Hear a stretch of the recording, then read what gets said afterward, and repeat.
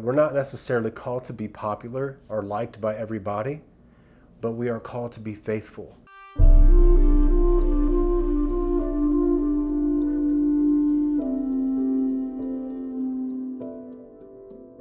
Jesus says something to them that is very important. When you go into a town, if they do not welcome you or do not listen to you, when you leave that town, shake the dust off from your feet and keep going. So basically, Jesus is saying that at times, just like in his own ministry, he wasn't accepted. He said there will be times, probably, where they won't listen to you or they won't welcome you, but go anyway.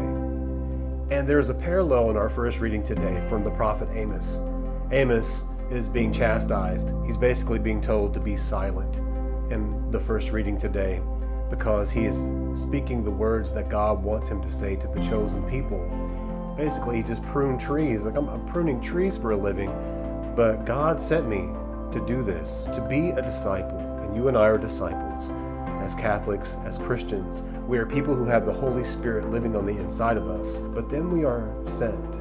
We are called to go and go out. To go out and to do the work of the Lord. Bishop Barron, whenever he was my professor at Mundelein Seminary, he would look up at the crucifix and he would point and he would say, Look at Mr. Popularity. I'll always remember that.